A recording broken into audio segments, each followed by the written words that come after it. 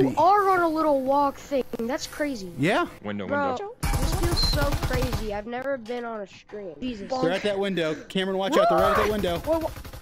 And to watch I hatch, have watch no hatch. care in the world. I'm just Okay, gonna kill him. Yeah, you did just charge Get him. back in, get back in, get back in. I did Yep, kill he's him. back in. I He's- did. Ender, it's so funny seeing myself on a on my TV. Yeah, Yeah. honestly, like you think you're like not like that like dumb whenever you're playing VR or like you don't sound dumb, but When you listen actually to see yourself like, walking around, you look dumb. Just- VR, as much as I would love to support you, I do not have the ability to. But just know I'm supporting you right now. Well, thank you. So Two dead. Ender, with that thing on your Three dead, let's uh, go. that thing walking, Hang on. it's basically like walking in a circle. It's a slippery dish with shoes that work like basically, you know, mice, how they have the red laser to track how your mice yeah. moves across the trackpad. So it's like that. Mm-hmm.